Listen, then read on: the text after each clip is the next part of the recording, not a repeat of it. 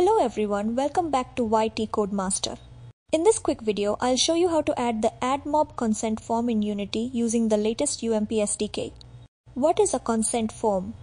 A consent form is a pop-up that asks users for permission before showing them personalized ads. It's required for users in the EU, under GDPR and some US states like California, under CCPA. Why is it important? Without a consent form, your app might violate privacy laws. Google AdMob could limit your ad revenue or even block ads for your app. So integrating the consent form keeps you safe and compliant. In this video, I've already integrated the Google AdMob SDK. If you haven't done that yet, don't worry. I've made a full step-by-step video. Check the link in the description to watch it first. Let's get started. First, go to your Unity project and create a new C script. Name it Ads Consent Controller this script will handle everything related to the AdMob consent form using the UMP SDK. Alright, let's break down the script called Ads Consent Controller. This is a static class, meaning we don't need to attach it to any game object in the scene. We can call it from anywhere in our code. We have a property called canRequestAds. It simply returns whether we are allowed to show ads or not based on the user's consent status. We call consent data function to handle everything requesting consent info and if needed, showing the consent form. Inside this method, we first create consent request parameters, which are needed to request updated consent info from the user. Then we call consentinformation.update which contacts Google servers to check if the user is from a GDPR or CCPA region.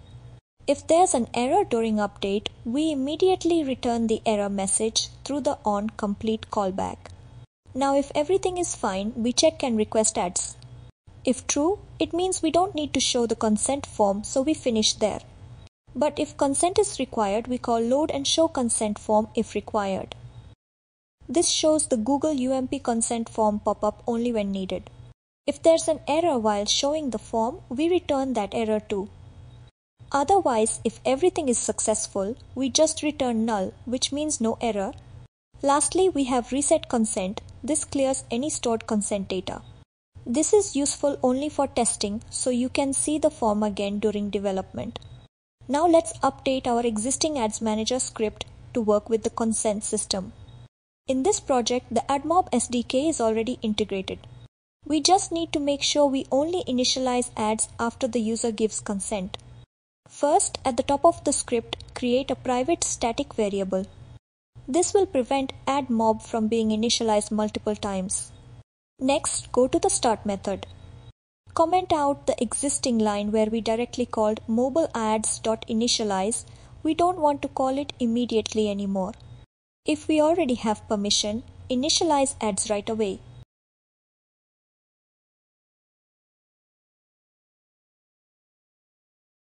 Call initialize Google Ads consent line to always run the consent flow.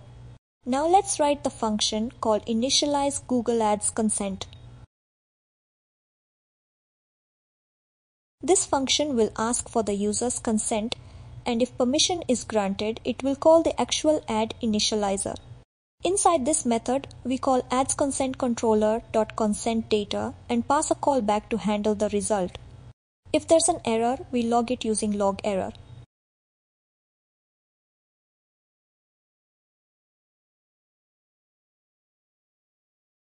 Otherwise, if everything is fine, we print the updated consent status using debug.log.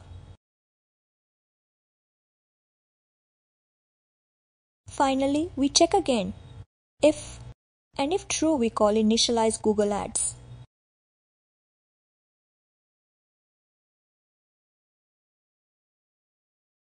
Now let's move our AdMob SDK code into a new method called initialize Google Ads.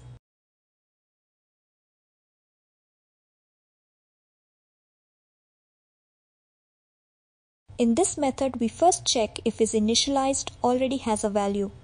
If yes, we simply return to avoid initializing twice. Then we call mobile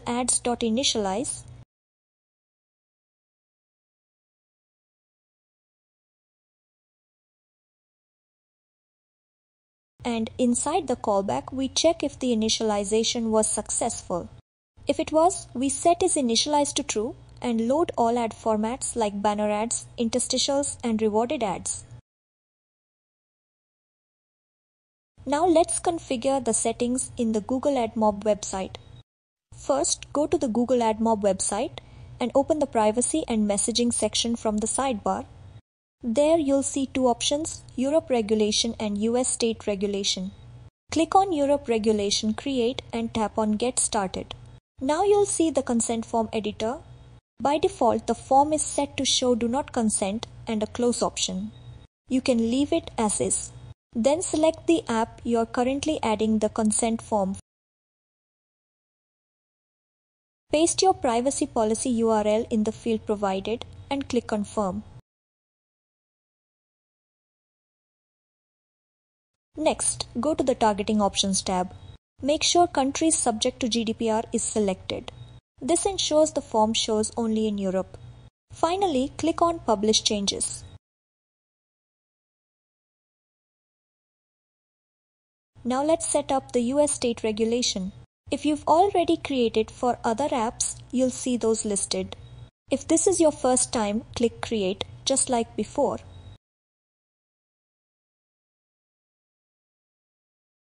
Select your current app and follow the same steps you did for GDPR. Then click publish. After publishing both forms, go back to the privacy and messaging page. You should now see the status for both Europe and US regulations as active. That means everything is correctly set up and your consent form will show in the right regions. Let's test it now. But wait, if you're running the app on a device that's, that's not in Europe or California, the form might not show by default. So to make sure the form appears during testing, we'll use Google's debug settings. Inside the code where we create consent request parameters, update it like this.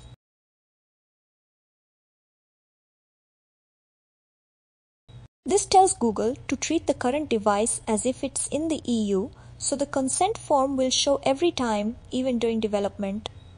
You should see the consent form pop-up appear right at the start. And once you accept or deny, the app will continue and AdMob ads will still work based on the selected preference. To test the consent form on a real Android device, you'll need your device's test ID. If you already have it, you can skip this step. Go to the Package Manager. In the top left corner, change the source from in project to Unity Registry. Now search for Android Logcat in the list. Select it and click Install. Window Analysis Android Logcat.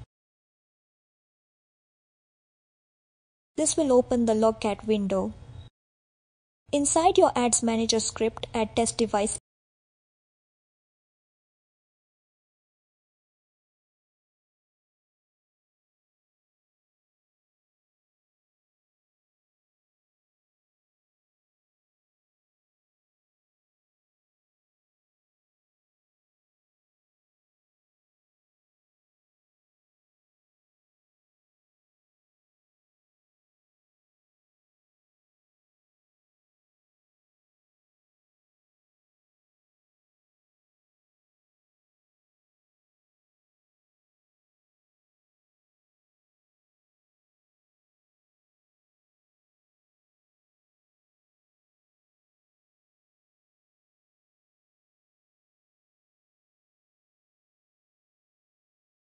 Now in the start method, before initializing the ads, add test configuration.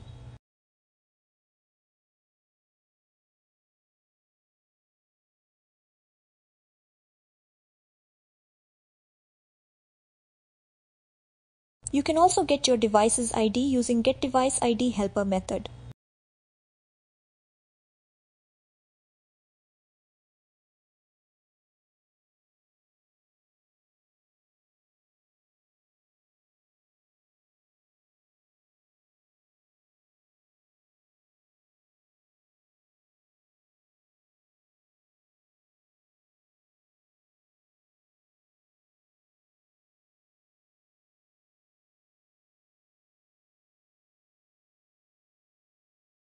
This will print your device ID in Logcat.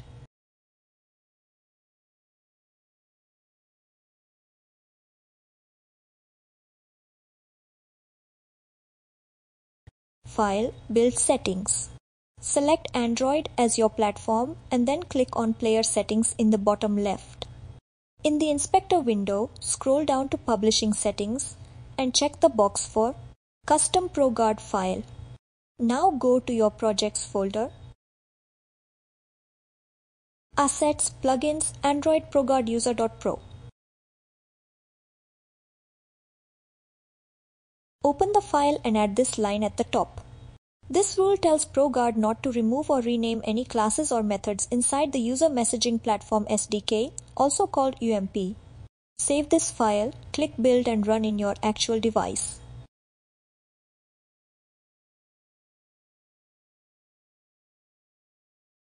After successfully run, search test device is in logcat. You can see test device ID copy this and paste it in script.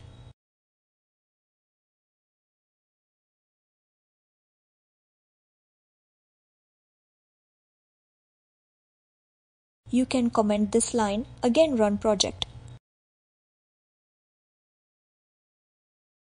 This time you can see consent form in your actual device.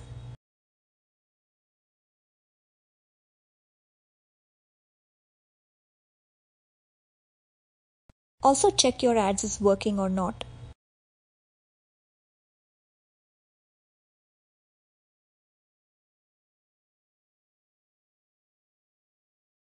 If you want to check the US state regulation consent form, for example, to test CCPA compliance, set regulated US state and call reset consent function.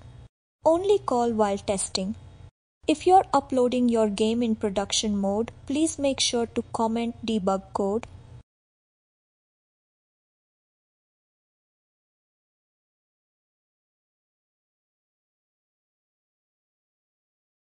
That's it for this video. Thank you so much for watching and if you found this helpful, don't forget to like, subscribe and drop your questions in the comments below.